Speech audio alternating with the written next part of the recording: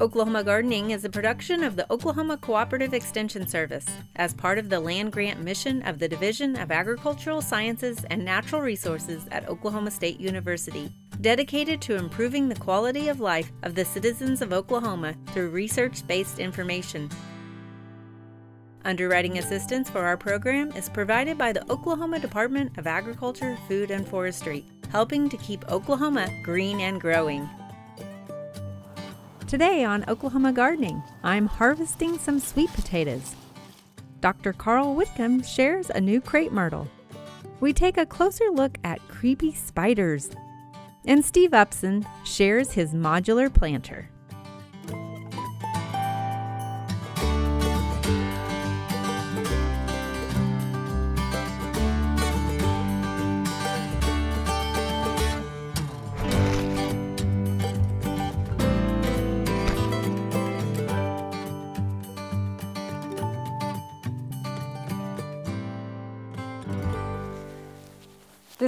Season's wrapping up, but it's time to harvest one last crop, and that's our sweet potatoes. We have been growing these all season. As we know, sweet potatoes are really a warm season crop, and they really thrive in that heat as they're actually native to Africa. So we've got our sweet potatoes. We planted ours in a raised bed here, um, and generally you want to harvest your sweet potatoes when the soil temperature begins to drop below 60 degrees. So uh, being in a raised bed, we want to make sure that we're getting them out in time. Now, the first kind of step to do this is to go ahead and remove a lot of your vegetation. Um, and so we're just gonna cut that out of here. Um, make sure you don't cut your irrigation. Pull that aside. And you might leave a little just so you kind of know where the base of that plant is also. Um, so as to know where to dig when we go in there and dig. And what's nice is this is actually really good vegetation to put in your uh, compost or your keyhole garden. If you have had disease though, or any insect concern, you do want to go ahead and dispose of that and not add it to your compost though. So now that we've got our vegetation pulled out, we're going to go ahead and start digging. You want to be careful when you're digging. Um, if you were doing this obviously in the ground, you might use a, a spade or a garden fork or something. And you don't want to bruise those roots too much. So be careful as you're digging around to sort of find those. It's kind of fun. It's like a little treasure hunt. Um, so you can see we've got a couple in here. And you might have started to see them kind of press themselves up out of the ground. That's another indicator that they're ready to be harvested. So we'll just shake some of that roots off. Look at all those sweet potatoes we've got there and we'll get them cleaned up a little bit later, but we're gonna go ahead and harvest them like that. Of course, we have varying sizes in there. Um, and while usually, depending on the variety, the maturity will range, um, sweet potatoes start to form this tuber after about two weeks. And then at that point, they just start bulking up. So the longer they're out there, and again, depending on the variety, you might get longer ones or you might get fatter ones. So the nice thing, you can see our soil is slightly moist and you want to make sure that if you're digging your potatoes, having a moist soil is a little bit better than having a dry soil as that pre prevents some of the scarring that might happen as you're digging those up out of the ground. So you can see we've got some of our potatoes here. We're going to go ahead and clip off some of these fibrous roots.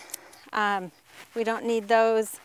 We're going to take these and now they aren't ready to eat just yet. We're going to need to cure these and to cure sweet potatoes you want to put them in a hot humid environment. So temperature should be around 80 to 85 degrees and the humidity should be about 85 to 90% humidity. So find a location and put them in there for about seven to 10 days. And that curing process will really allow those starches to turn into the sugars that we enjoy in our sweet potatoes.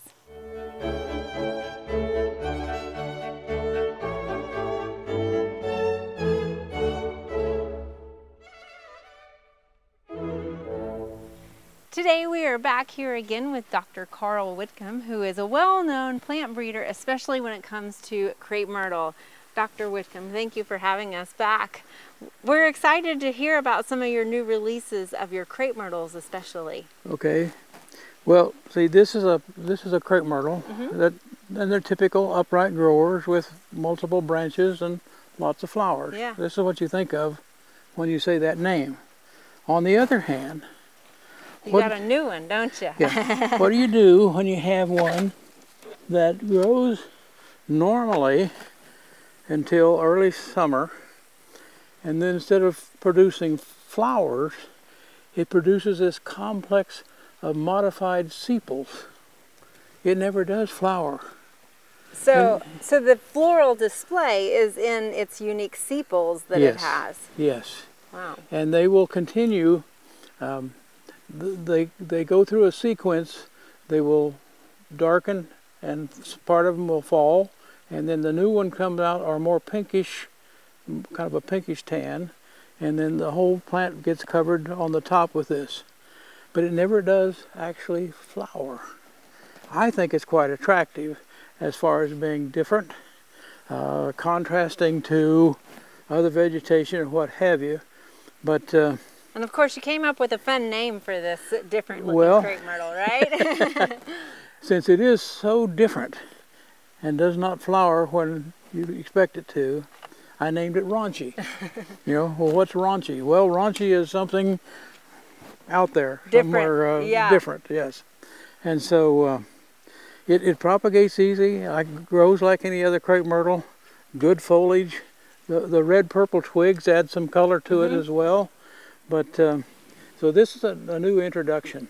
Yeah, it does have lovely foliage as well, and I like the contrast with that dark green and the the burgundy. Yes. Um, and so the sepals obviously are the uh, what would enclose the petals, right? That's the capsule. They and would. so they've kind of just sort of mutated looking. It looks like. Well, they they they did. I'd I'd had some uh, an occasional mutant plant before, but they were they were ugly.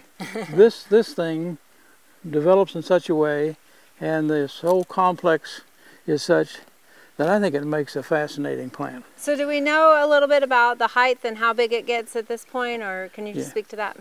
Well, it looks like uh, four to six feet. Okay. It's going to be a small shrub, and uh, but again, it's like the sterile crepe myrtle. They come out in the spring, grow vegetatively, but once they start to flower, growth is over until next year. Well, this does the same way. Mm -hmm. Once it, it'll grow, and then when it starts doing this production of these highly modified floral portions, sepals, it doesn't grow anymore. It just sits there and produces more and more and more of these, but no increase in height. So it's not going to grow much each year. If you want height growth, you fertilize it heavy in the spring to get it to grow high. Pushing that vegetation. Because once it starts this, height growth is over. All right. Well, um, and this is just one of many that you have released out on the market. What are we up to now? Is it about 10 or 12? I think it's it's either 11 or 12. Yeah. Starting um, off with your well-known dynamite, correct? Yes. Yes. You know, I operate I operate with two distinct mottos out here. They're both quotes of Thomas Edison. One says, "We have no rules here. We're trying to accomplish something." we have no rules here. The other one it says, I am not discouraged. For every wrong attempt discarded is another step forward. So if I have to throw this plant away, okay, I learned something from that. We'll still go forward. Well, and you found at least 12 gems out there and all of that you're growing, so. And we're always looking for better, yeah. Thank you. You're welcome. Yeah.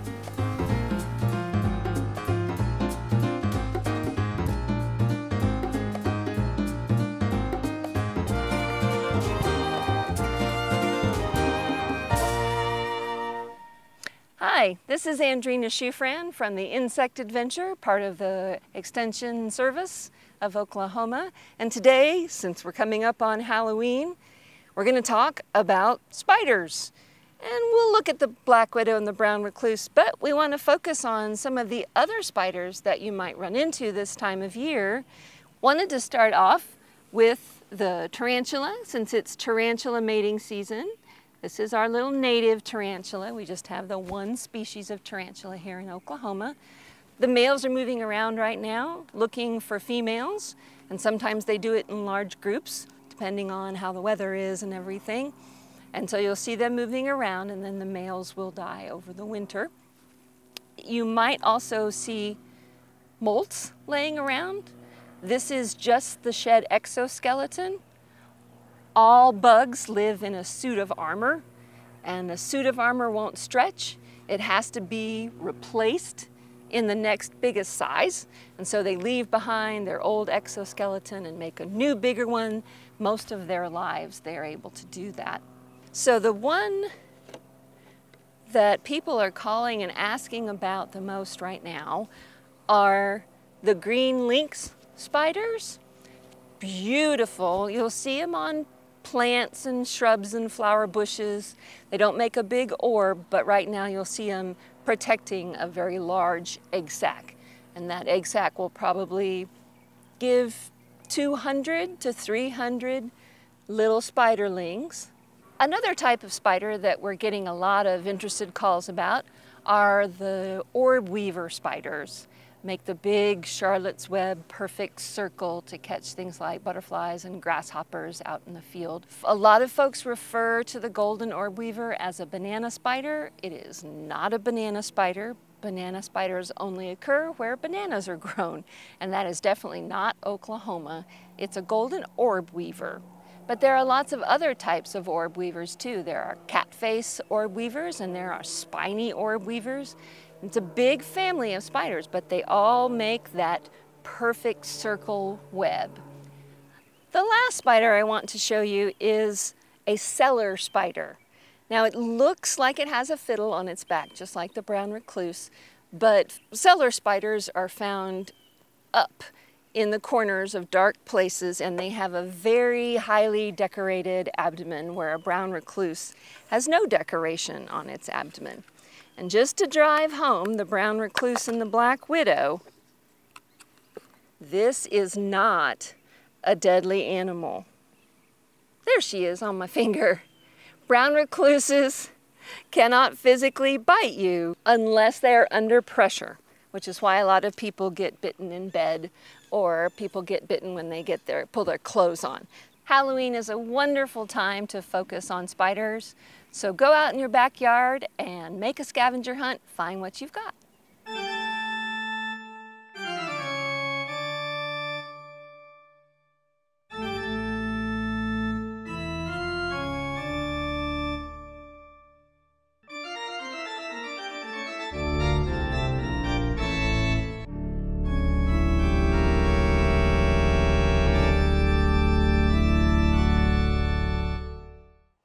Are back here in our backyard garden with another raised bed idea. And joining us today is Steve Upson with the Noble Research Institute. And Steve, thank you for joining us again. I know you've been here several times, shown us several different models mm -hmm. of raised beds, but you've got another concept to share with us. Tell us a little bit about this structure. Sure, this is an old idea. We've just kind of updated, uh, stacking tires to make a planter.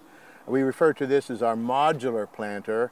Uh, each tire is, serves as a modular, or a module, excuse me, either a base module or a growing module. And we'll show you how to how to put the put the system together in just a minute. So the nice thing about this is there's a lot of flexibility. Can you tell us a little bit about what are the pros to something like well, this? Well, this is the least expensive design that we've uh, fabricated, okay, come up with at the Noble Research Institute. It's, it's kind of um, uh, simple to build uh, least expensive, and uh, uh, shortest time required to build this. And in, terms of flexibility, uh, we can outfit it with all types of, of covers, all types of trellises, because it's designed to accept and to be very versatile in those covers and, and, trellises. And I would imagine the different modules or mm -hmm. tires are what we were referring to when we say modules right. can uh, change the height of yes. this also. So yeah, if you, you want something that's a little bit higher mm -hmm. and so you don't have to bend over. So let's talk a little bit about what we've got on this one before we go into the construction. What, well, what are we looking at This here? is just a basic uh, cover. You refer to it as a mini tunnel or a small hoop house. Uh, but um, it's basically can consist of some uh, EMT, one half inch EMT conduit and some poly pipe, and uh, believe it or not, a shower curtain. Okay, uh, I stole Low this from our bathroom this morning. Oh right? no, Yeah. So uh, yeah, it's very low cost, but you can see it provides a little protection. Uh, these can be made uh, different sizes, elevations in terms of the cover. Uh, there's different uh, um, styles of covers besides this style that's uh, contained in our construction manual. You can read about, more about. And the, and the important thing about this little low tunnel is not for you to grow a tomato all season long under this as a greenhouse, just to get that early tomato, protect it from those late frosts that maybe are out Yeah, there. It's protected ag. It's modified environment. It's Yeah. not a controlled environment like a greenhouse. Right. Okay. And of course, we just have it open right now. Yeah, But this covers up all the way. Yes, it um, you just up. got some binder clips on there. I mean, you can't get more straightforward It's, than it's that. It's very, very simple to, to build and to use. Okay. We're trying to keep it that way. All right. Well, let's go take a look at the construction Sure. of one of these, if you don't mind. Sounds great. Okay, Casey, we uh, have a little demo set up Uh-huh. here to kind of show you how this planter goes together. Uh, what we're looking at here is a base module, and attached to this bottom base module are the support posts. Okay. And these serve two purposes. One is to hold the stack of tires together, make sure they don't slide off, and also serve as a point of attachment in the ends here for anything we want to construct, accessorize, you know, from, from on top of the bed, Okay. like our, our cover. All right. So we've got that all screwed in. What's Okay, so we've, we've uh, we have some options here. We can either have one base module or two. We want a tall planter, then we can add another intact tire to this, uh, the, the base, okay? If uh, we don't, then we need to make a decision if we want to have a floor in this or we want a floorless planter. Now, when I, what I mean by floor is a floor.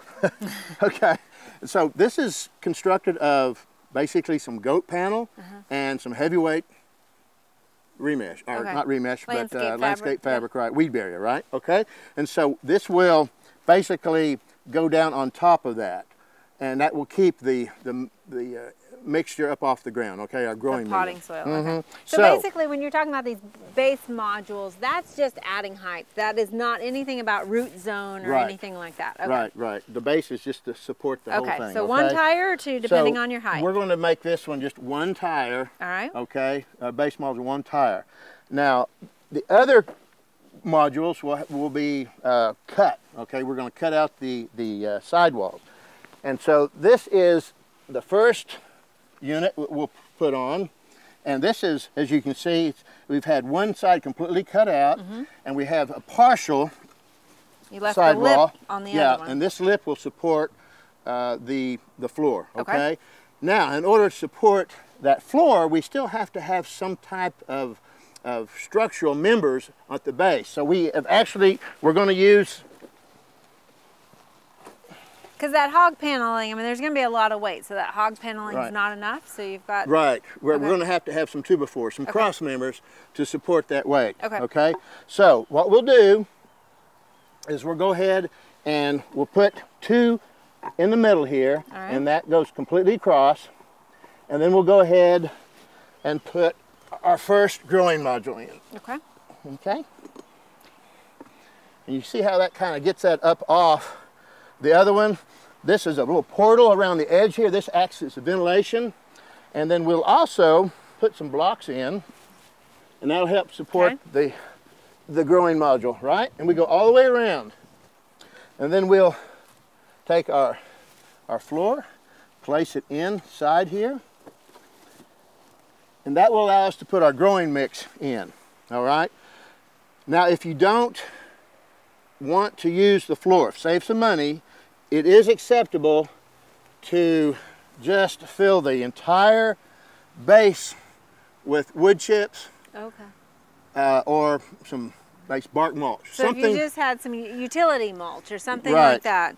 And the reason we want to use that is so uh, save some money, and also it'll serve as a screen. So uh, we don't want our growing mix just all disappear through our little vent holes in the bottom here. Okay, Okay, so, so we'll fill that all the way up to about halfway up this first growing module. Okay. So we'd still put the wood the cross member maybe doesn't matter as much? The cross members, the two center ones can come out. okay. But you still need the exterior ones. To allow for drainage, And airflow. aeration, uh-huh, yeah, okay? Because I would imagine these do get hot, right? I mean, They do get warm, yes, yes. And so we want to vent them as much as possible. Some people will paint them white. You can also put some uh, luminized insulation uh, around the outside to reflect the sunlight. But, you know, we haven't had any big issues with this. As long as you keep the soil moist, then the plant's growing abundantly where they have the size to shade the, the Right, container, okay? okay. The west sun is the, the biggest problem. So we're ready for Okay. our floor? Yep, we'll put this in.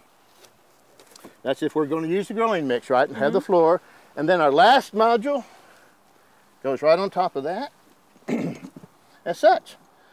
So and this got- one doesn't have the lip. You've cut it clean on Right. both sides. So So we have all this surface area free now, so we can plant. yeah, so this is a good volume of soil for those plants to grow in. So you wouldn't have to be watering them quite as much. The shallower, obviously, you're gonna have to water. Yeah, you're going to have 14 inches of soil in here. Yeah. When you even when you account uh, for your mulch material, if you don't have the floor, if you have the floor, then you can have even more. You know, this we're looking at almost 20 inches there. Right. So growing medium. And again, if you wanted to go higher, then you would add another base, Base model, module. You not don't need- adding more soil. Right, that's overkill. Right. Okay. It's too expensive. So what do we have here? A couple of different pipe options. We're going to make a trellis. Real quick, show you how to do that.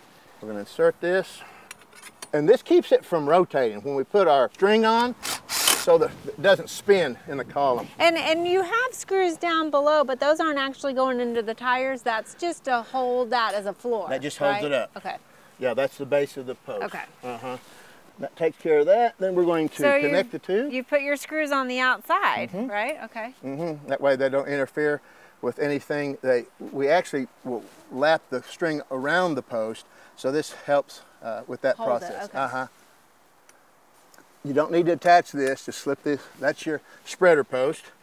This makes one trellis frame now. And then what we'll do is we'll use, there's several ways you can do this. You can actually attach a piece of wire to this, some remesh, and I think I've got that around here somewhere. here, there it is. Okay, this is one op option.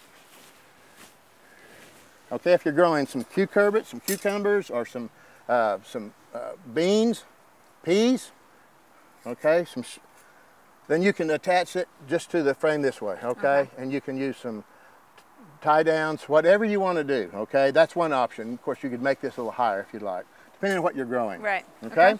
Now this is a, uh, a technique we use for our peppers and our tomatoes. Okay, so we will wrap, just, we've got a loop there, okay? Now I'm gonna walk around this, and this is one way of doing this, it's quick. Okay. Okay, you can tie individual levels, but I kinda like to just do it this way. And what's the Kinda show you spacing the- on your screws? About Oh, five, six six inches, Okay. yeah. You try to keep it tight, And you're doing two uh, links Mm-hmm. each time. right, so we're making a cage, a skinny cage. Yeah, that's a quick way to make a trellis Mm-hmm. there. That's it in a nutshell. Okay. As the tomatoes grow, you just work the terminal and the foliage through here. Okay? And, And- that's pretty for- much it. For this size can, uh, tire, obviously they might vary in size of tires, but for this one, two tomatoes? Two tomatoes. Okay. Right. Yeah, it will, the tire size, a module this big, it's about 32 inches across. Yeah, we can grow two, two tomatoes in this. I've got another trellis option, Okay, let's say for peppers. all right. Okay, so we're going to Smaller those plant? up. You might be able to Smaller put more in We're here? going to put four, four pepper plants in this particular container. All right, so we're going to, let's do these two. Right across from each other. The same concept, right? We're going to have spreaders for this set, this row and spreader for that one, and then we'll run the twine. Okay. And then we'll have two, two peppers, plants evenly spaced between each row of, of twine. Okay, so basically you've got two Yeah. rows of twine in there for Yeah. the peppers. Yeah. So Steve, it looks like there's a lot of options for this with trellising for peppers, tomatoes, and then also the hoop house, the low tunnel as we saw earlier. So this is a great option. Now I know tires are tires, they're gonna outlive us, but tell us a little bit about what we can do to maybe dress this up Yeah, if we wanted to. it is ugly, no frills. I understand that. So we can either paint it, you can paint it terracotta, you can paint it white to reflect the sun, you can paint it, let your kids paint rainbows on them, you know, or giraffes, whatever. Uh, even put some uh, some wood uh, maybe some uh, like some old uh, stockade fence, you know, uh, Yeah. panels or two bys. But yes, you can do something to dress it up All to. But otherwise, low cost, easy Right. to make raised bed. Very versatile and cheap. Excellent. Thanks for cheap, thanks for sharing with us, Steve. You bet.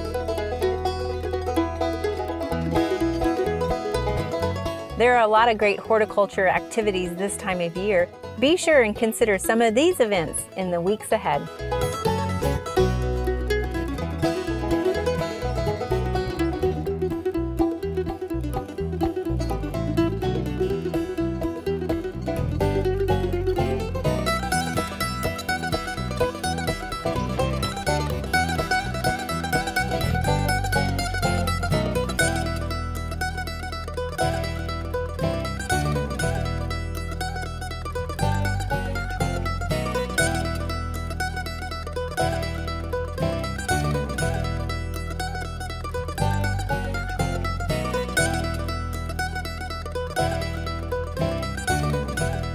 Week on Oklahoma Gardening, I'll share the November Hort Tips. We show you some unexpected kids cleaning up the pastures. And Barb is back with a final recipe. To find out more information about show topics as well as recipes, videos, articles, fact sheets, and other resources, including a directory of local extension offices, be sure to visit our website at oklahomagardening.okstate.edu. And we always have great information, answers to questions, photos, and gardening discussion on your favorite social media as well. Join in on Facebook, Twitter, and Instagram. You can find this entire show and other recent shows, as well as individual segments, on our Oklahoma Gardening YouTube channel. Tune in to our OK Gardening Classics YouTube channel to watch segments from previous hosts.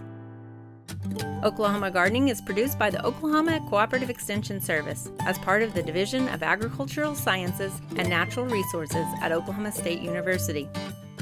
The Botanic Garden at OSU is home to our studio gardens, and we encourage you to come visit this beautiful Stillwater gem. We would like to thank our generous underwriter, the Oklahoma Department of Agriculture, Food, and Forestry. Additional support is also provided by Pond Pro Shops, Greenleaf Nursery and the Garden Debut Plants, the Oklahoma Horticultural Society, and Tulsa Garden Club.